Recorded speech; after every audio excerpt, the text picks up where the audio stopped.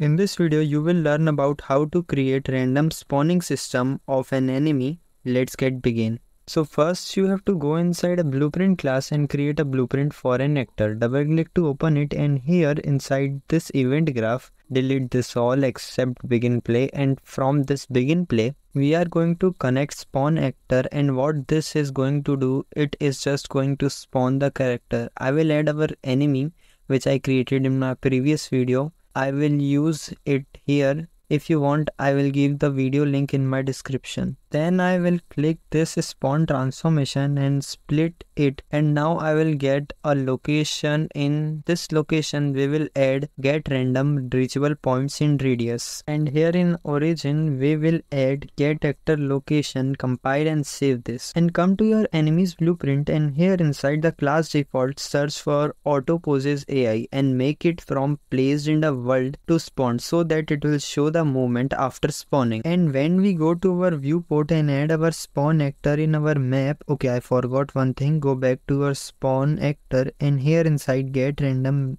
reachable points in radius make the radius around 7000 compile and save it and when you will go and press play you will find that nothing happens. This is because our spawner also need a nav mesh bounds volume. So search and drag nav mesh bounds volume in our viewport and adjust it as per your need. And after that when you will hit the play you can see our enemy is spawned in a random location and also showing the movements. Now what we are going to do is creating a loop of a spawning enemy which will result in spawning of enemy one by one. So here inside our graph we will get a set timer by event and here inside the time I will make it 2 seconds and take the looping and then I will create a custom event and connect it with this all nodes and compile and save this. Now when we will press the play you can see that enemy are spawning in random places after every 2 seconds and also showing the moment. If you have any query related to